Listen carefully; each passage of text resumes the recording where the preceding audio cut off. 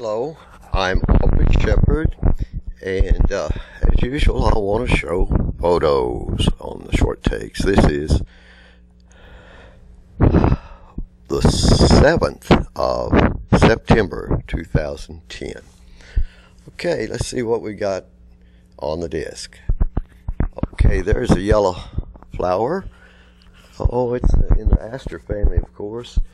And I'm weary of trying to get the names of all the sunflowers and various things that are in the aster family on uh, named properly. So let's just enjoy the yellows and see what we see in the background. Some purple reddish flowers.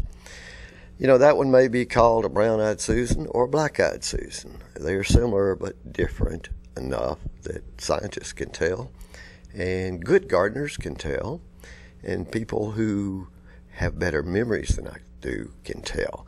But anyway, they're beautiful, and I love to see what insects are using them, and that reminds me of uh, Doug Tallamy's book.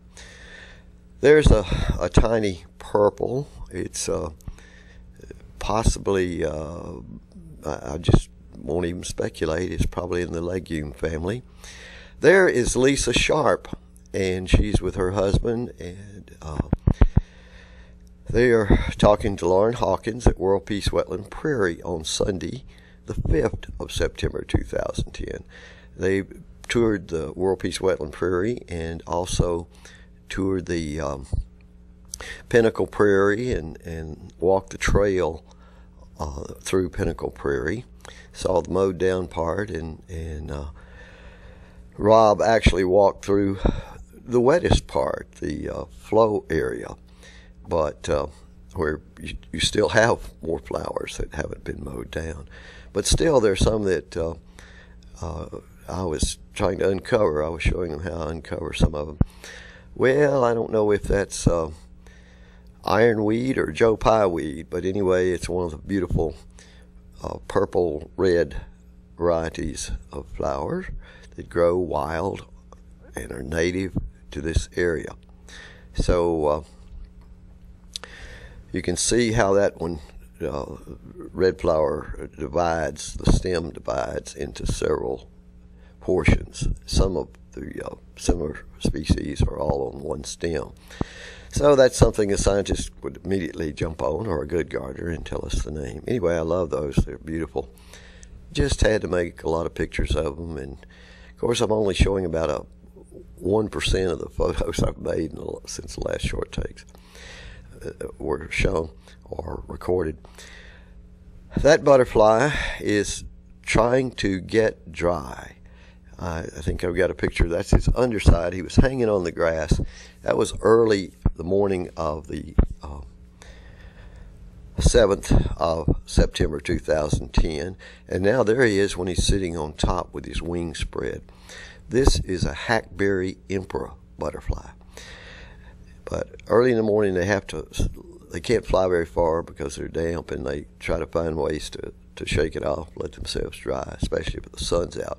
That's a tiny grass species. You can see how tiny when I hold it. Uh, in my hand that way, and the flowers are just so small that I I didn't. Well, I could have spent more time and finally got a, a clearer shot of the flower probably. Well, there's one of my favorite halictid bees. It's green, metallic looking bee, and it's on a sunflower species. Or no, this is actually the um, cup plant. Okay, here's the nut. One of the big reasons don't mow this time of year. See, that is a um, milkweed. It's common milkweed, Asclepias syriaca, and that see how tiny that um, that um, caterpillar is. That's a monarch caterpillar, and you can see it's not even as long as my thumb is wide, and so.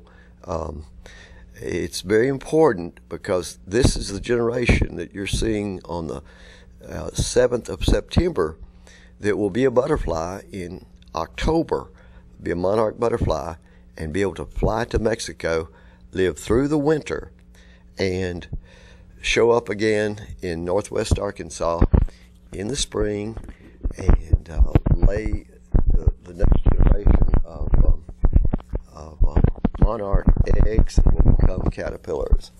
early next year, probably uh, April, May, those butterflies will be coming back from Mexico and South Texas and uh, hatching out and flying around. There have been a lot of butterflies on these milkweed plants and a lot, a lot of uh recently laying eggs. So uh, I was not surprised to see the plants start losing leaf parts because they're being uh,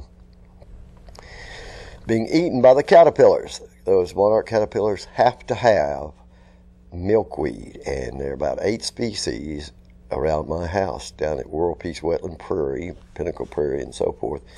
And they bloom at different times throughout the growing season. And that way, the monarchs, whichever generation's being uh, reproduced, uh, the caterpillars will have access to milkweed. Till next time, this is Aubrey Shepherd asking you to do your part to help keep the water clean, the air pure, and the woods green. See ya.